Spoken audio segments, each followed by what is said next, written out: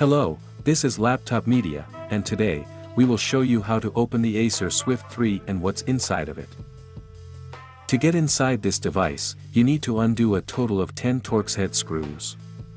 Then, pry the bottom panel with a plastic tool or a guitar pick, and lift it away from the chassis.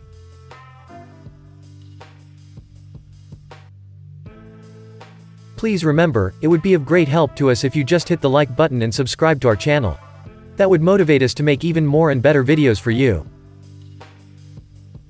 Here, we find a 54.6 watt-hours battery pack.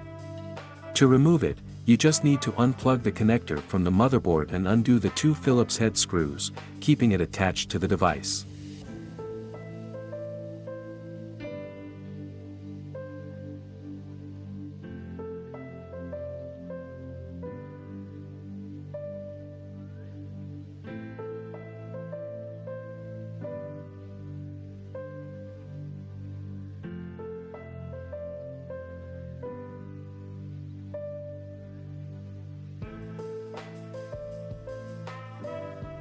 Unfortunately, all of the memory is soldered to the motherboard.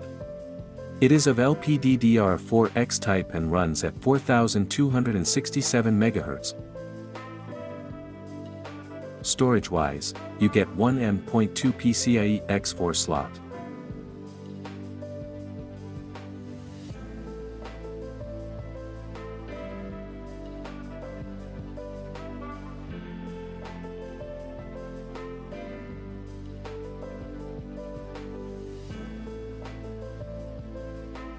The cooling looks quite capable with two heat pipes, two fans, and a heat sink of decent size.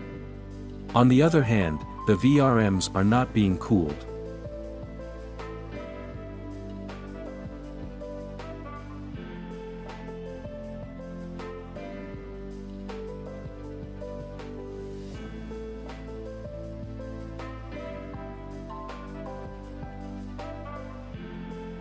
If you'd like to see more disassembly videos of the latest notebooks we would highly appreciate if you hit the like button and subscribe to the channel.